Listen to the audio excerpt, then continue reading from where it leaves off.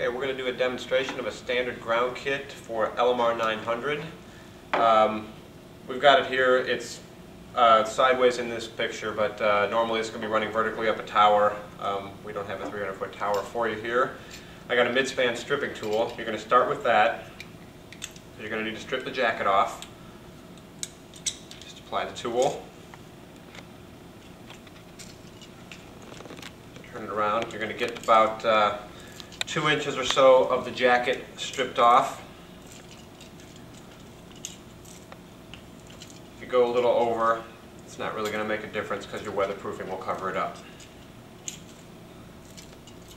So once you get an area stripped off, this thing automatically goes down the cable. Just place your fist here, give it one more turn, don't allow it to go down. It'll just take the rest of the jacket off, cut it off nice and clean.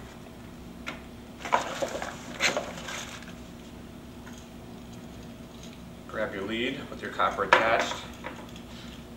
Got a couple of brass nuts and lock washers already on. Just take those off. Slip it over the place that you've uh, stripped off and just form it around real easy by hand. Making sure that the uh, two threaded rivets just go through the holes. Place your lock washers and nuts back on.